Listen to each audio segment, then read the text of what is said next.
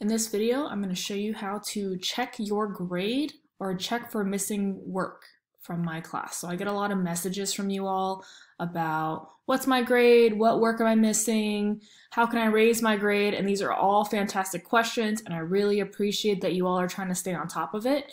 Um, but all those questions can actually be answered on your own without my help.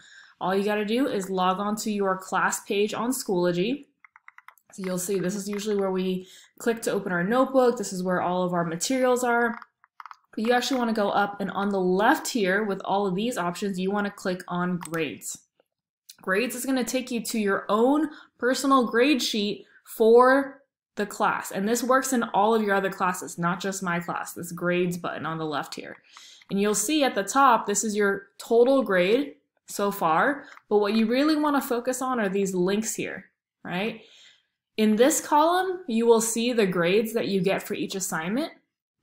In this column, there are comments. So if there are comments like go back to page 10 of your virtual notebook or um, finish the last question, resubmit it again, like I will leave you comments here if I feel like there's some extra messages that I need to send to you.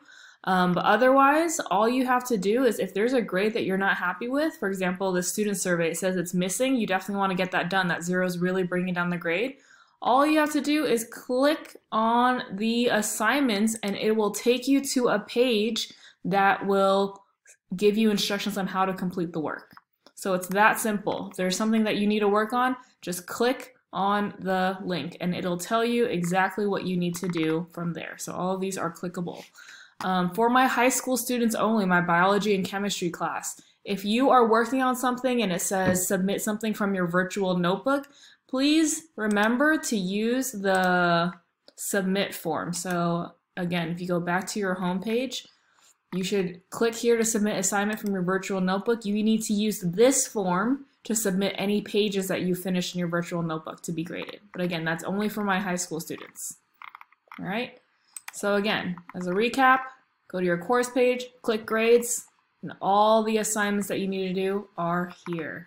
Hope that helps.